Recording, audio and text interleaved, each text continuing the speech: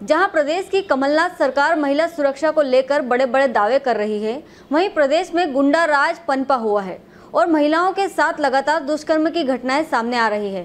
ताज़ा मामला मुंदी सामुदायिक स्वास्थ्य केंद्र में पदस्थ नर्स के साथ 108 एंबुलेंस चालक के भतीजे ने दुष्कर्म किया। पूरा मामला यह है कि नर्स ड्यूटी खत्म कर अपने घर नर्मदा नगर जाने के लिए मुंदी बस स्टैंड पर खड़ी थी।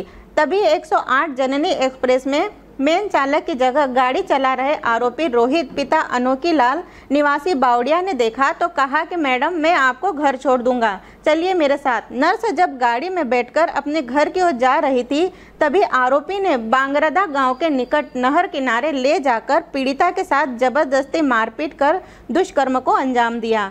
जब इस मामले की जानकारी पीड़िता के पति ने पुलिस को दी तब मुंदी थाना और पुनासा पुलिस चौकी के पुलिस कर्मियों के द्वारा 108 जननी एक्सप्रेस का पीछा किया गया।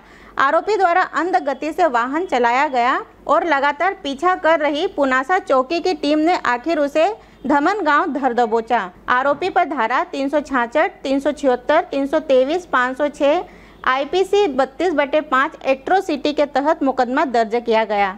ओंकारेश्वर से ललित दुबे की रिपोर्ट।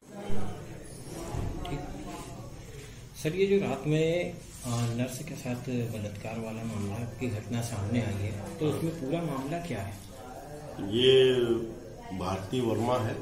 ये नर्मदा नगर से अप डाउन करती है और मूंदी हॉस्पिटल में स्टाफ नर्स है। कल आठ बजे इसकी ड्यूटी खत्म हुई। ये घर जाने के लिए बस स्टैंड खड़ी थी। उसी दौरान ये आरोपी रोहित ने जननी एक्सप्रेस लेके आया। बोले, मैडम, चलना है, क्या मैं उधर ही जा रहा हूँ? वो बैठ गई गांगरदा के वहाँ जाके उसने उसका फरियादी का टोला है, अंदर के रास्ते ले गया जब पूछा कि इधर कहाँ ले जा रहे बोले, दस मिनट का काम है, वापस आता हूँ।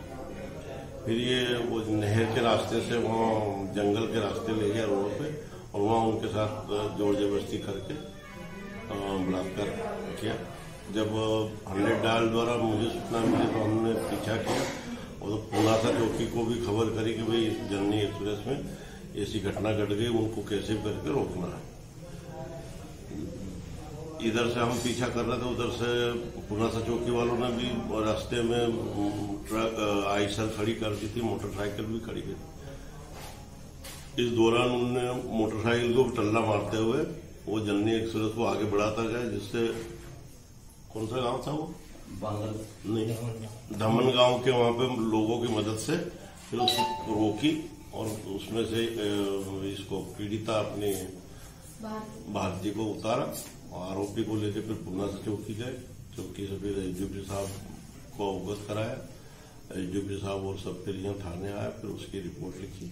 इस मामले में बताया जा रहा है कि पीड़िता के पति पुलिस विभाग में ही हाँ पहले आरक्षक चालक के पद पे नर्मदा नगर में ही पदस्थ थे फिर अभी साल भर से वो अन्यत्र कहीं ट्रांसफ़र पे चले गए हैं। आरोपी के ऊपर किन धाराओं के तहत मुकदमा तीन सौ? छाछठ तीन सौ छिहत्तर तीन सौ तेईस पाँच सौ छह और तीन दो वी एट्रोसिटी एक्ट ठीक है और आज आरोपी